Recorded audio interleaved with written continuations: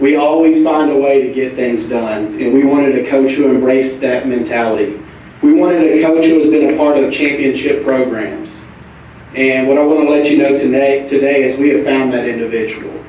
And I'm pleased to announce our new head coach of CSUB Baseball, Coach Bob Macaluso.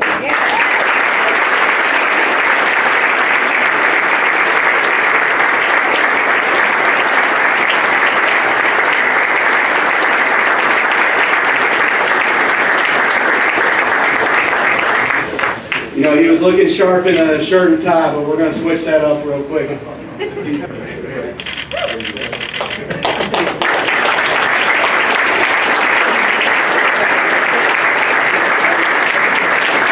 and I feel very fortunate to be named only the second baseball coach in the history of CSUB.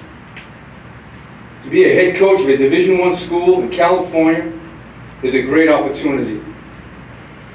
There are many outstanding players that would love the opportunity to attend and compete at CSUB. My plan will be to have all student athletes earn an overall GPA of 3 or above every year. To be a major contender in the WAC conference.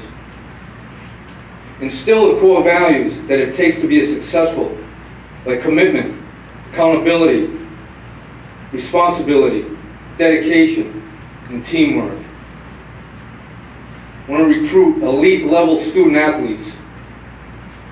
We want to be prepared, motivated, with a concentration on development in both the classroom and on the field. 2015-2016 season has some very good players returning, with 12 incoming players, both high school and junior college players.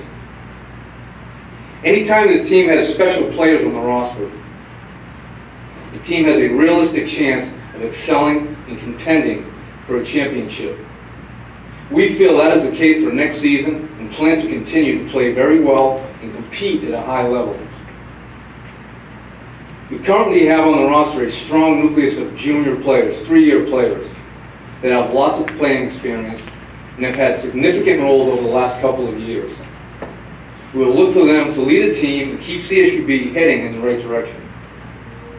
The strength of this year's team will be the versatility that many of the players possess. With a large incoming class arriving on campus in a few weeks, they will add to the depth of the team and create a competitive environment when we begin our fall season next month.